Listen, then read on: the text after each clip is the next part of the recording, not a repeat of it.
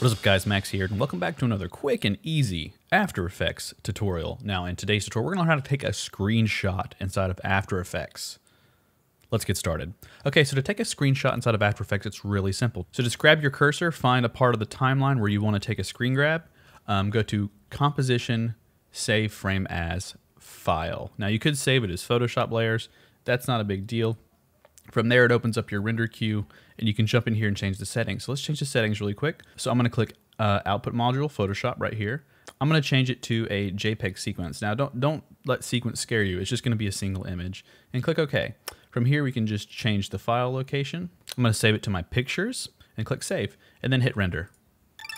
Just like that, you have a screenshot. As you can see right here, it's been saved. And here it is, no big deal. Now you may ask yourself like, what about this other thing on the timeline? There's a little picture thing right here, take snapshot. That sounds like it could be a thing where it would, you know, take a snapshot and save the screen. But that's actually not the function of this button. So if I click this button, it does a little click sound and it takes a snapshot. But if I move down my timeline, this real, um, what this actually does is shows the original thing. So if I go to the farther part of this subscribe thing that I always use in my videos, um, and I click this, it shows the snapshot. So if you're doing you know animation, you need to see the previous frame. This is a great way to quickly see the previous frame. So this does not take a screenshot for you.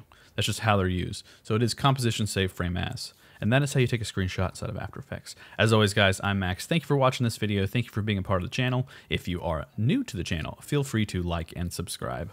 Other than that, I guess I'll catch you guys in the next video. Peace.